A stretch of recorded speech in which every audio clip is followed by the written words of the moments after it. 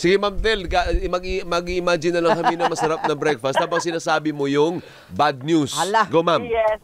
At least ah, kahit bad news, tinanong niyo ako ng gusto ko. Opo. Anyway, ah, good morning again. Ah, sa first day po kasi ng linggong ito, ang mga balita hindi po maganda. So makaka-experience po tayo ng ah, price increases sa lahat ng presyo ng produktong petrolyo simula po sa Martes base po sa apat na araw na trading.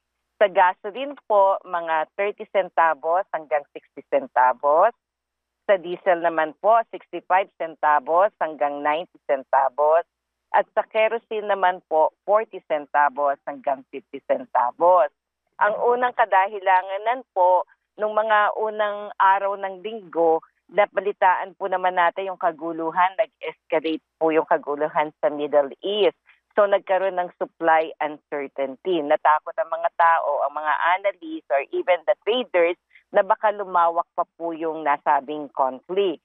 Second po, naglabas ang China ng tinatawag nilang economic stimulus package para po umayos yung kanilang ah, ekonomiya. Ah, then para po at the same time, because of that economic stimulus package, oh, may chance na po na tumaas ang demand. And lastly po, bumaba naman po yung inventaryo ng United States. So yun po yung tatlong kadahilanan kung bakit makakaranas tayo ng pagtaas sa presyo ng produktong petrolyo. So, ibig sabihin pala, Ma'am Del, bumaba ang presyo kahapon. Kasi parang mas malaki pa dyan yung estimate ko. Ka ah, kasi nilagyan ko na nga pala ng premium. Yung sa'yo ba may premium na yan? Oh, yeah, oo, yung range na yun. Pero kung talagang ano, pababa, mula naman ano, bumababa, talagang ang unang taas lang, yung unang dalawang araw. Ah, so tama nga, bumaba, nabawasan ng konti kahapon. Ah, malaki binalangos kahapon kasi mula Wednesday hanggang Thursday sa gasoline halos ano eh, $3 eh. Ah, okay. Pero, Ah, sana nga tong Friday na to, pababa pa rin para mabawasan pa to. pero kaya pa bang i-wipe out ito o malabo na? Mukhang increase talaga the next week. Oh, yeah, malabo. Oo, malabo. Siguro yung gasoline may chance ang walang paggalaw, pero yung dalawa, increase talaga. Okay. So, y- ang trajectory, next big word. Ay, pataas. Pataas. Pakispell, Pataas pa- pakispell yung trajectory, please. Pagtaas na lang. so, yung pagtaas, parang sunod-sunod, hindi ba? O, So, ito na yung mga nagiging geopolitical factors. Wow, na? big word again. Big words again. Oo.